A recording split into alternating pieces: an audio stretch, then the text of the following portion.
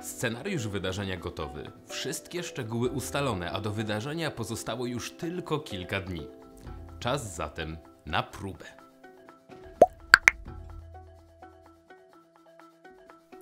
Próba jest konieczna prawie zawsze, a zwłaszcza jeżeli występujemy w danym miejscu po raz pierwszy.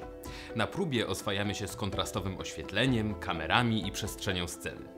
Często ekipa realizacyjna wyznacza na przykład punkt, w którym konferencjer powinien stanąć, albo linię, której nie może przekraczać, by nie wyjść ze światła.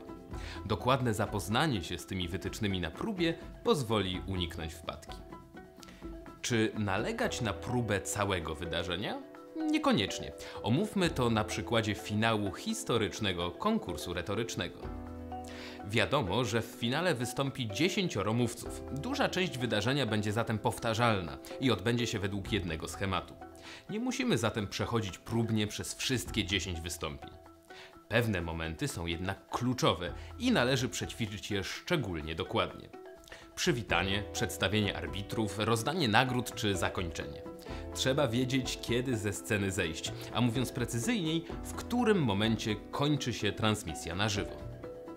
Próba to oczywiście miejsce na zadawanie pytań i rozwiewanie wątpliwości. Wchodzę teraz, czy dopiero za chwilę? Mam stanąć tutaj, czy metr dalej? Nie bójmy się przerywać próby, żeby poprosić o wyjaśnienie jakiejś kwestii. Zwłaszcza, że doświadczona ekipa realizacyjna może na próbie robić niektóre rzeczy umownie, na skróty, doskonale wiedząc, że końcowy efekt będzie różnił się nieco od tego próbnego. Natomiast początkujący konferencjer potrzebuje porządnego instruktażu. Dlatego bardzo ważna jest próba generalna, czyli taka, w trakcie której nie ma już miejsca na zadawanie pytań, a wszystko powinno pójść dokładnie tak, jak ma zdarzyć się na żywo. Podczas próby dostajemy także do ręki sprzęt, z którym należy się oswoić. Czasami prowadzący może zdecydować, czy woli mikrofon do ręki, czy nagłowny. To ważna sprawa, jeżeli będziemy w trakcie wydarzenia potrzebować obu dłoni.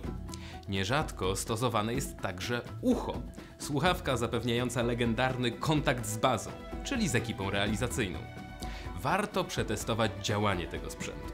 Wyobraźmy sobie, że rozmawiamy z kimś na scenie, musimy reagować na to, co mówi nasz rozmówca, ale jednocześnie słuchamy komunikatu płynącego do nas przez słuchawkę. Jeżeli nie oswoimy się z taką możliwością na próbie, możemy pogubić się w trakcie wydarzenia na żywo. Są jednak takie sytuacje, których nie przewiduje scenariusz i których nie sposób przećwiczyć na próbie.